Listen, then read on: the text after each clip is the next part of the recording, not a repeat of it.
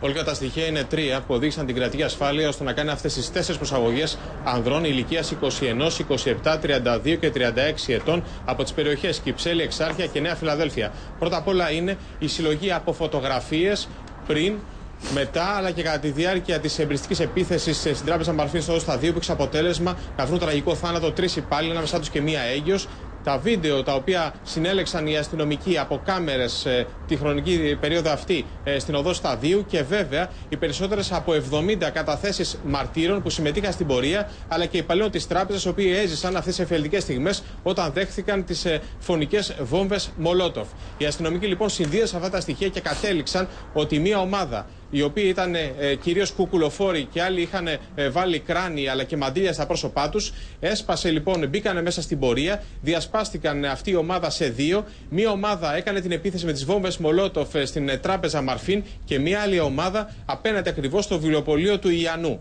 από τις τέσσερις προσαγωγές των υπόπτων και μιλάμε ακόμη για προσαγωγές καθώς ακόμη δεν έχουν προχωρήσει σε συλλήψεις. Ναι, Βαγγέλη, εγώ αυτό θέλω να σε ρωτήσω. Έχει, η αστυνομία έχει καταφέρει να ταυτοποιήσει τους δράστες αυτής της φωνικής επίθεσης με τους προσαχθέντες, διότι μέχρι στιγμής βλέπουμε ότι ε, είναι η διαδικασία των ανοματή καταθέσεων. Δεν έχουμε δηλαδή ούτε απαγγελία κατηγορίας ούτε συλλήψεις.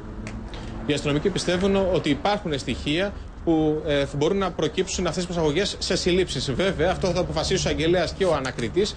Περιμένουν οι αστυνομικοί να ολοκληρωθούν οι ανομωτοί καταθέσεις, να ολοκληρωθεί και η υπόλοιπη έρευνα για να δουν τελικά εάν αυτές οι προσαγωγές καταλήξουν σε συλλήψεις. Πάντως, όπως έλεγα, Όλγα, οι αστυνομικοί έχουν ε, στοιχεία που λένε τουλάχιστον ότι οι δύο από τους τέσσερις υπόπτους έριξαν τις βόμβες Μολότοφ στην τράπεζα Μαρφίν και οι άλλοι δύο, παρότι στην ίδια ομάδα, χωρίστηκαν και έριξαν τις βόμβες Μολότοφ στο βιβλιοπωλείο απέναντι από την ε, τράπεζα Μαρφίν. Έχουν γίνει και κατοίκων έρευνες ε, στα σπίτια ε, των τεσσάρων προσαχθέντων. Μέχρι στιγμής πάντως δεν υπάρχουν σημαντικά στοιχεία παρά μόνο στοιχεία στο σπίτι ενός από τους προσαχθέντες που βρέθηκε ένα τόξο και μια σφεντόνα. Στοιχεία βέβαια που δεν είναι ικανά να στοιχειοθετήσουν σημαντικά ενοχοποιητικά στοιχεία για την υπόθεση της Μαρφίν. Πάντως η έρευνα συνεχίζει και να δούμε βέβαια τουλάχιστον οι δικαστικέ αρχέ πού θα καταλήξουν. Α είμαστε.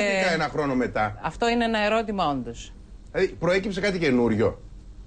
Οι αστυνομικοί λένε ότι δεν προέκυψε κάποιο σημαντικό στοιχείο το τελευταίο διάστημα. Απλά ολοκλήρωσαν την έρευνά τους, έστειλαν την οικογραφία στον εισαγγελέα και ο εισαγγελέας μετά διέταξε προκρατική εξέταση να προσαχθούν τα άτομα αυτά ε, για να δώσουν ανομωτή κατάθεση και να γίνουν κατοίκον έρευνες που ενδεχομένως εκεί να προέκυπταν κάποια σημαντικά στοιχεία. Πάντως, ναι. μέχρι στιγμής στοιχεία από τις έρευνες στα σπίτια ναι. δεν υπάρχουν. Δεν ξέρουμε αν έχει προκύψει κάτι καινούριο και γι' αυτό το λόγο ας είμαστε επιφυλακτικοί να δούμε τι θα, ποιο θα είναι το αποτέλεσμα, δηλαδή τι στοιχεία θα έρθουν μέχρι το τέλος αυτής της ιστορίας στο φως. Οι έρευνες πάντως συνεχίζονται. Πάμε και στη Γαδά, στη Μίνα Καραμίτρου, να μας δώσεις ε, τις δικές πληροφορίες, το δικό σου ρεπορτάζ, Μίνα.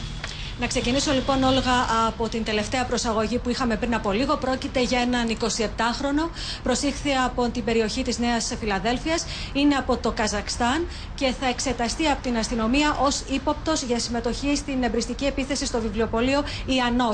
Ε, θέλω να επαναλάβω και εγώ ότι πρόκειται για μία ακόμη προσαγωγή. Καθώς επίσης τα τρία άτομα τα οποία βρίσκονται αυτή τη στιγμή στα γραφεία της κρατικής ασφάλειας και δεν έχουν ξεκινήσει ακόμα να δίνουν τις ανομωτή καταθέσεις τους, επίσημα για την αστυνομία είναι προσαγωγές. Τώρα, ε, πριν από λίγο από ό,τι μάθαμε, ολοκληρώθηκαν και οι έρευνες στα σπίτια, οι κατοίκων έρευνες.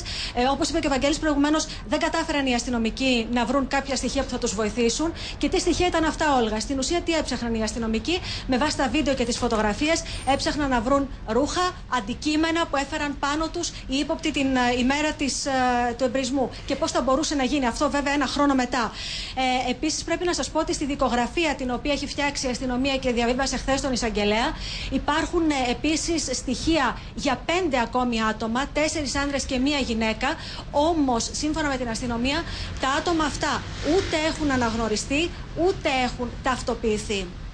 Πάντως, ε, ας είμαστε, επαναλαμβάνω, επιφυλακτικοί. Α περιμένουμε να δούμε ποιο είναι αυτό το καινούριο στοιχείο, το νέο στοιχείο, τα νέα στοιχεία που οδήγησαν την αστυνομία στις, ε, να προχωρήσει αυτές τις προσαγωγές ένα χρόνο μετά το τραγικό αυτό γεγονός. Γιατί δημιουργείται η εντύπωση ότι γίνεται τώρα, επειδή συμπληρώνεται στην πραγματικότητα ένας χρόνος, δηλαδή έχουμε την επέτειο του ενός χρόνου από αυτή την, αυτή την, από αυτή την τραγωδία. Α μην προτρέξουμε. Να